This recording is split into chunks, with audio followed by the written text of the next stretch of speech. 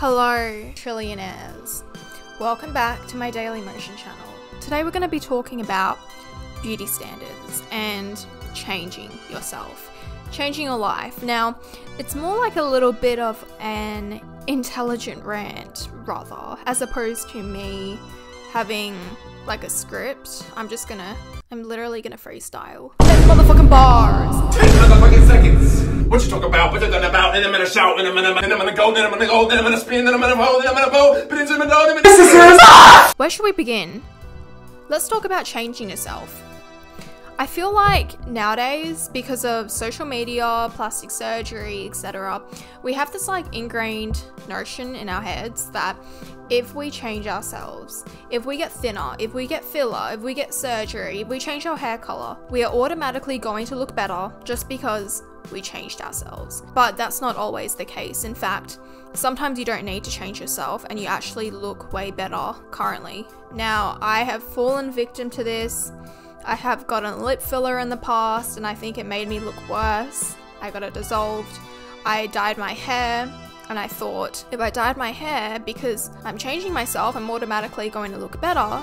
Not true. I personally think I look better with my natural hair color black. I've dyed my hair a couple of times now and each time I go back to black, I love it way more. And then you get to the stage, hmm, maybe I should change myself again because perhaps I do look better in another color. And then you do it again and now I'm back to the same situation. And the reason why I keep asking asking you guys, should I go back to black or should I keep my current hair, is because I subconsciously am thinking one color is better than the other. One color makes me look better because and then when I go back to that color, I'm like, no, I look better in the other, and it's back and forth because you think change. Change is the answer. Change will always make me look better. When I got lip filler a while ago, I thought, I'll look prettier with bigger lips. I don't think I did. I think I looked a lot prettier when I had just normal lips. I look like a dark, seriously. I mean, I didn't look bad, but I didn't, I wasn't peaking, if you know what I mean. I actually had this realization last year when I got my lips dissolved that you don't have to change yourself. Just because you're changing yourself, it doesn't mean you're going to look better. And if you go watch my beauty rant on that last year, I briefly touch on it. But I think it alludes to a larger problem. Thank you, TikTok, that girl lifestyle. How to change your life. Yeah, look, I know I contribute to it by talking about it on my channel, how to change your life, blah, blah, blah, blah, blah. But you don't have to change your life and you don't have to change your appearance. I reckon you should change your life if, you know, you're in a shitty position.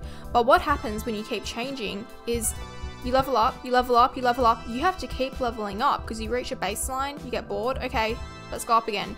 And each time, it feels exactly the same, and the problem is you're never actually satiated. That's my problem.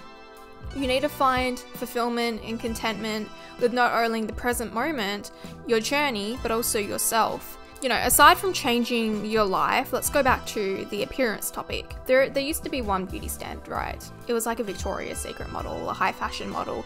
Skinny girl, not really any ass. And then it changed now we got Kim Kardashian's body, the BBL effect being another body type to aspire to have now. And, you know, in a way, it's good having two new ideals. My friend said that she leads to the other body type while, you know, I lead to the more skinny side. She said that it actually made her feel better because she felt like she could finally have something that she could potentially attain. But at the same time, I don't think there's any such thing as a ideal body type. You need to have a body type that looks good for you. For example, for me, I'm tall and I'm thin. If I were to go and get a BBL and try to look like Kim Kardashian, babe, I'm not gonna look good. So it just wouldn't make sense for me to do that. Just because that is the standard of beauty or one of the standards of beauty, having a fat ass, would that look good on me?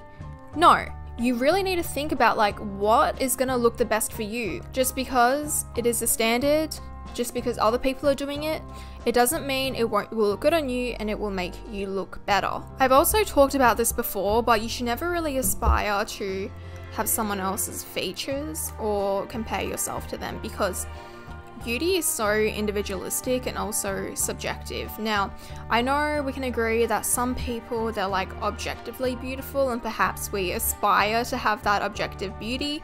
I can relate, but I think like something everyone needs to get through their heads is that not everyone is going to find you attractive or beautiful, but it doesn't matter. And you should be focusing on being like a good person, focusing on inner beauty. And I know you guys don't want to hear that because every time I say that, they're like, Simone, give us actual tips on how to look hot.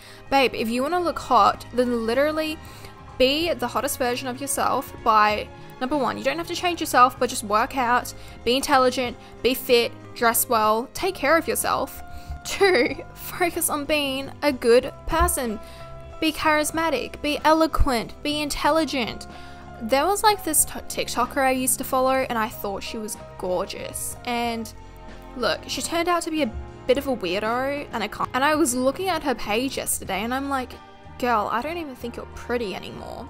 And then you find someone else, they are so common looking, but they are just beautiful on the inside, great personality, lovely human, and they are stunning.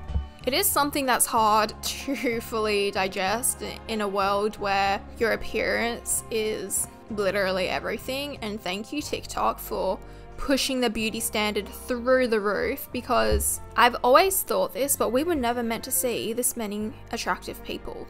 It's not normal. I remember when I was younger, the most attractive person I had ever seen in my life was like a celebrity that you could look at now and you would think they look incredibly normal. I don't think there's anything we can do about it unless, you know, collectively everyone said, hey, we're gonna stop putting filters on our face, getting filler, blah, blah, blah. Like, it's not gonna happen. Instead of being angry at social media, our society, whatever, by the way, we are society, so blame yourself as well. Instead of like criticizing things you can't change, you should work on like becoming mentally stronger and focusing on being the best version of you because truly when you are focused on yourself leveling up yourself being the best version of you you don't really care about other people. And i think people also wanting to change their life it's like a bit of an escapism thing. That's why everyone wants to bloody go to hogwarts. People on the internet now they're so nostalgic for like the past you know. We edit our photos to look like a vintage camera. Anything in the past is resurfacing and I don't think it's just for an aesthetic. I think it's more so because people, they just don't like this reality. They don't like 2020 something.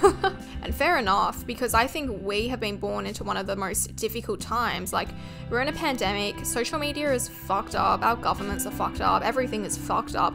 We got a lot to go through that our parents didn't have to go through. So I kind of get it. But instead of hating the world, instead of hating the world, hating other people, blaming everything, you need to focus on what you can control. I've really digressed a bit from just talking about the beauty standard, hey. But yeah, I guess changing your life, it doesn't mean you're going to be happier because trust me, I change my life every three months. I constantly need to level up. I constantly need to be going higher, higher, higher. And every time I do, you feel good for like, let's say, reach a goal. Okay, I'm happy for two weeks. Oh no. What do I do now? Level up again. And you know, when you reach this new high, it actually feels exactly the same as the other high. So even though you're objectively in a better position, it doesn't feel like that.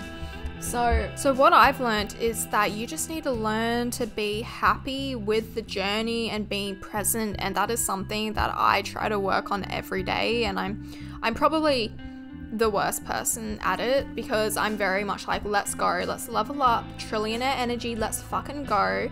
And it's not even just for your life. When I have this hair, I want my dark hair. When I have my dark hair, I want this hair because you're never happy. And here's a little way I think about things now. So, if you know that in life you're going to have everything you want one day, would you currently be upset? Would you currently be longing for it? Or would you enjoy this present moment knowing that you're never going to have it back? You would enjoy it. Because I was thinking, okay, if I were to like go back in time to maybe six months ago when I was in Sydney, knowing that in a couple of months I would be going to Europe, which you guys know has been my dream for so long. I'm fucking obsessed with Europe. If I knew that was going to happen, would I spend every day waiting for Europe and dreaming about Europe? Or would I just be like, yeah, it's gonna happen. I'm gonna enjoy my time in Sydney now? I would enjoy it. And guess what? When I was in Sydney, I lived there for four years, didn't like it. Then when I went to Melbourne, I wanted to be in Sydney. When I was in Melbourne and Sydney, I wanted to be my hometown Perth. Now I'm back in my hometown. Where do I want to be? Sydney, Melbourne. You're never happy.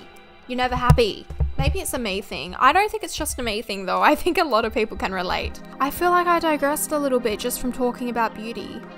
Anyways, don't think changing yourself is going to make you more attractive.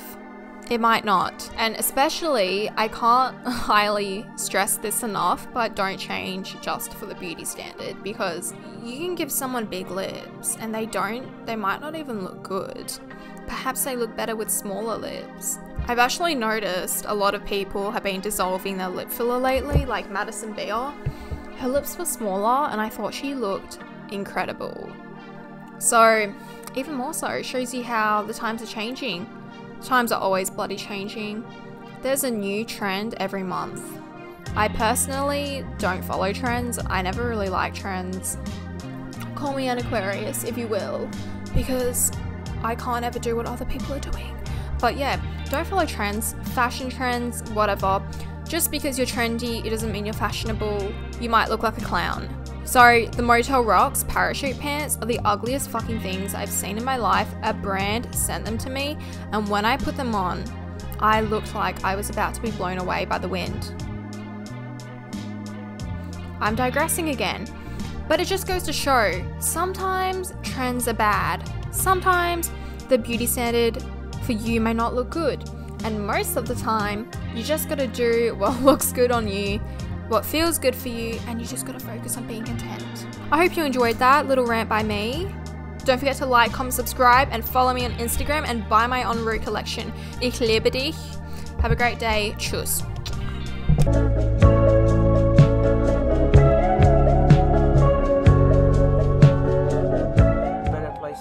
Roman, Roman, vacación. Ah, Mi hada madrina dijo que sí. Este de aquí me hizo llorar. Este otro me dice marica. Este otro de mí piensa mal. Esto es lo que hago cuando.